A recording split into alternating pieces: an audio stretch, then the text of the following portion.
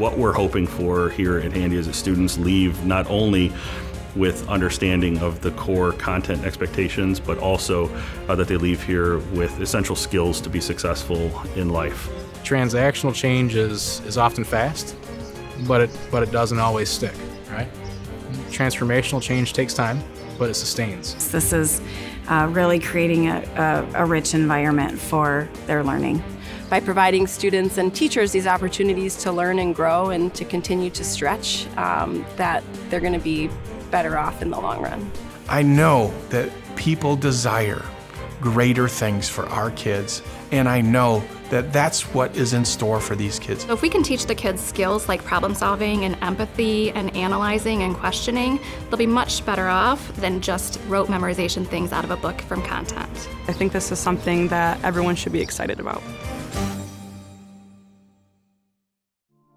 There's three primary areas that we're looking to transform in the school uh, next year. Uh, the first is the instructional approach. We want to transition uh, all teaching and learning here to uh, project-based learning uh, so that all learning that will occur uh, will happen through the context of completing a project or solving a real-world problem. A, primary change in a partnership for us is the New Tech Network.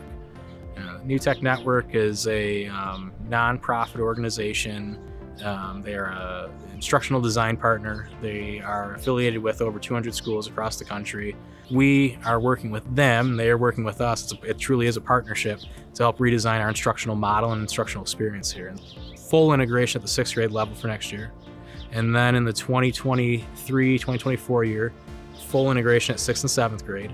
And then the 2024 2025 year, so three years from now, when, when those incoming sixth graders are eighth graders, the entire school will be wall to wall project based learning. So the skills that we in incorporate in project based learning are essential. I think information nowadays is at your fingertips, it's available, you can access it anywhere.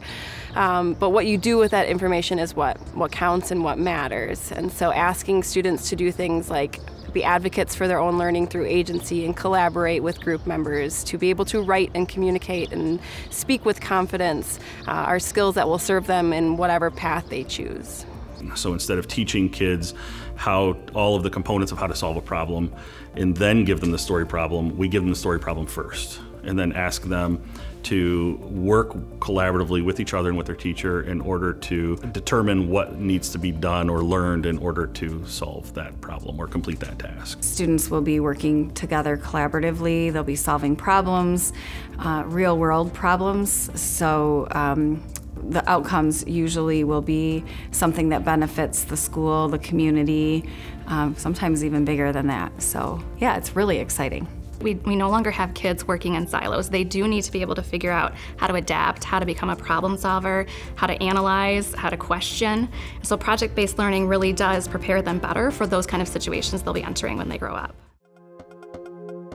Uh, the second is we want to uh, shrink the school by creating small teams, uh, both at the grade level uh, and at the, the classroom level, so that way students don't feel like they're a part of a 800 student school, but instead a part of a small cohesive team uh, with shared teachers, shared students, so that way they can form that small school atmosphere. Handy sixth grade will have three different teams.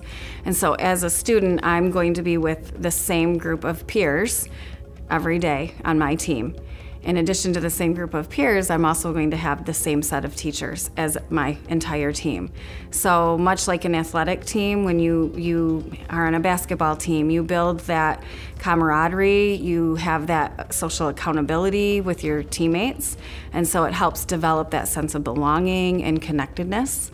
We no longer have kids just going through the hallways, mixing from place to place. They belong to a family, they belong to a team.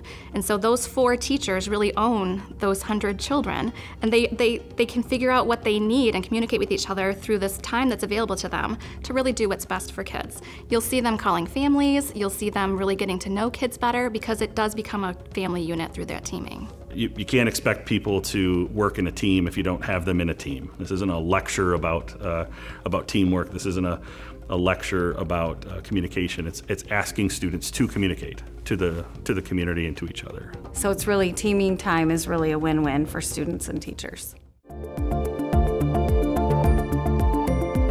Third thing is just a focus on building a positive uh, culture uh, throughout this school. Um, we've been using the, the phrase, we are crew. Crew is, it will be a structure that we use for advisory, but it's also, um, when I say a spirit, it's also that belief that, uh, you know, all of us have an, have an active um, role, but a responsibility towards leading Handy in the right direction.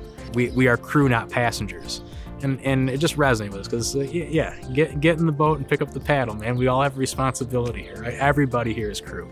Everybody's here. There's no there's no passive wildcats. We are all active in our growth, and we all have a responsibility to take that position, right?